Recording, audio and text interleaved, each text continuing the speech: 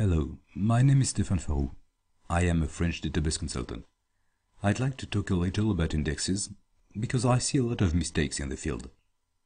I have published two books with O'Reilly, one about how I think one should write SQL, and more recently, a second one more relevant to what takes most of my professional time, namely improving SQL applications written by people who have obviously not read my first book. In both books, I had to talk about indexes, a subject that is often surprisingly misunderstood. Almost everyone knows you mostly have two ways to access data in a relational table. One is to scan the table from beginning to end, and the other one is to descend an index that is most often a structure, find the physical address of rows of interest, then directly access them, neat and fast. So, why the fuss? We should probably index every column that intervenes in a where condition. Hold on. Some indexes are created to implement constraints, in particular to quickly identify that you are trying to insert duplicates in columns that should contain unique values. And you almost always have some obvious entry points, some columns that are particularly important and selective search criteria. I have no issue with these indexes. But all indexes have a cost. For one thing, they take a lot of storage. This shows the total storage taken by a real 8 GB table in a bank. The five indexes take together more than three times as much storage as data. You are going to tell me who cares, storage is cheap nowadays. True enough, but only to some extent. And of course, I'm not only talking about the production database. It is likely, if data is precious, that disks are mirrored, and if the data is critical, it is probably replicated to some distant disaster recovery site, where it can also be mirrored. We probably also have a copy of the production data that is used for development, and another copy for maintenance of the current version of the software, and a user acceptance test database copy for testing new functionalities, and a performance database for stressing the system a few gigabytes here, a few gigabytes there, and you are soon talking about real storage requirements that don't come that cheap. But paying for disks isn't the only cost. The time it takes to back up a database is directly proportional to its size. Backups are usually planned, but recoveries often aren't, and the problem is the same. If your database takes a lot of space because of indexes, it will take longer to recover. Franklin gave to an saying its modern guise in 1748 in his advice to a young tradesman. Remember that time is money. There is even worse, and this is a test you can easily replicate. I have inserted 100,000 rows into a table of a dozen columns. In the same time, I could insert 100 rows without any key, after creating a primary key index, I inserted 65. After adding a second index, I was down to 22. After adding another index, I could only insert 15.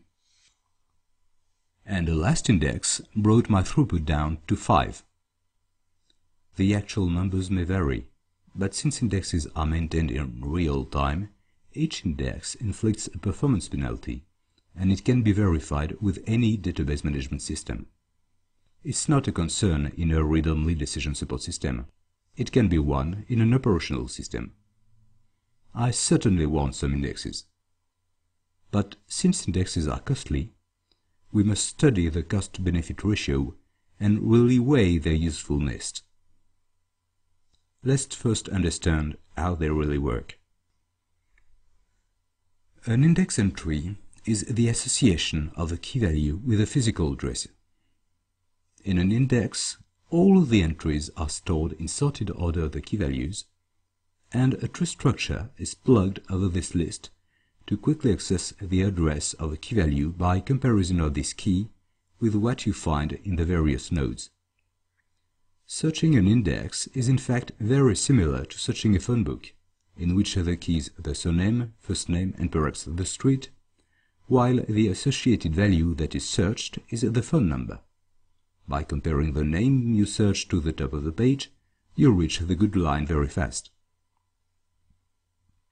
But when we are looking for a lot of values, either because the search criterion isn't very selective, or because we are using the result of a subquery that returns many rows, it may actually be more efficient to remorselessly scan the table than to get the address from the index each time.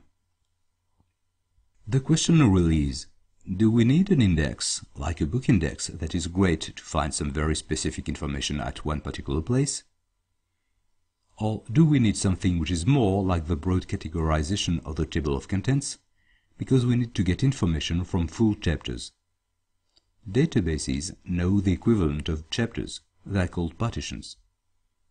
Even when you are certain about which columns will really need indexing, you must be careful about how you index them. For instance, suppose we have a table called T, and that we have indexes on two columns from T, country, and year. If we often run queries in which we combine a condition of the country with a condition of the year, everything is fine except that the optimizer will have to think hard about how best to run the query. It can use an index and forget about the other one, or it can sometimes use both indexes to find the intersection of two result sets.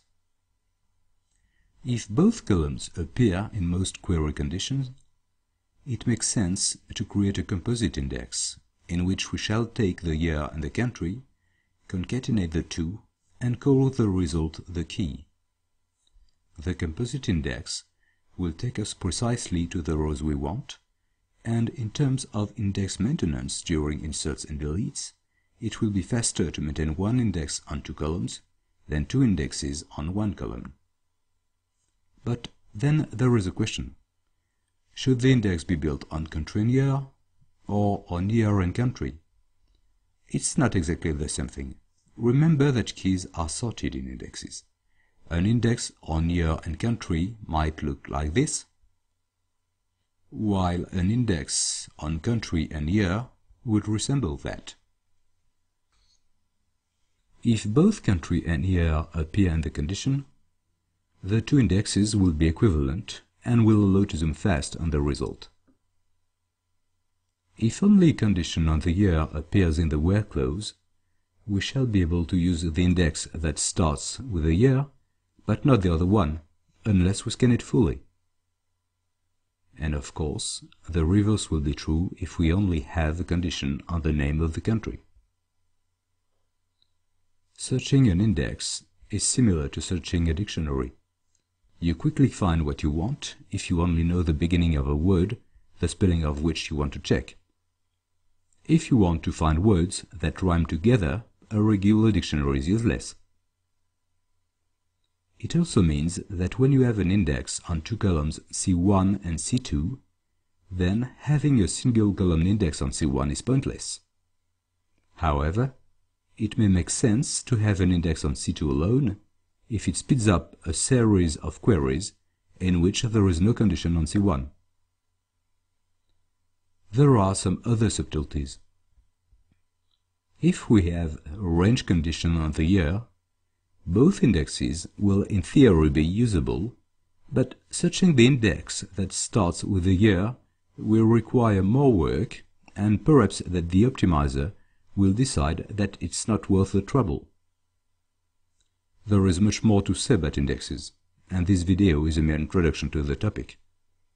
But remember that indexing indiscriminately, hoping to reach the target, will in most cases not work because indexes are not the silver bullet that always makes queries fast. If you want to index efficiently your tables, you don't usually need many indexes, but you need finely targeted indexes. Thank you for listening.